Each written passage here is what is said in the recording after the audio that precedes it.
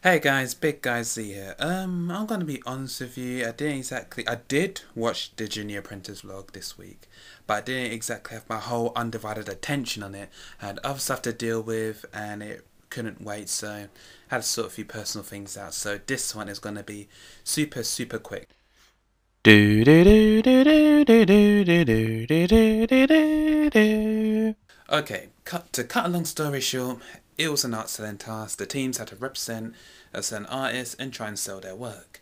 Team Instinct got beat yet again. Kirsty wasn't that good at the selling, wasn't really looking at the pictures much.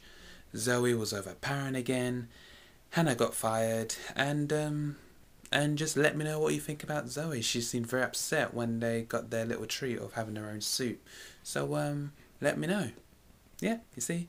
So if it's very quick but short and sweet. See ya.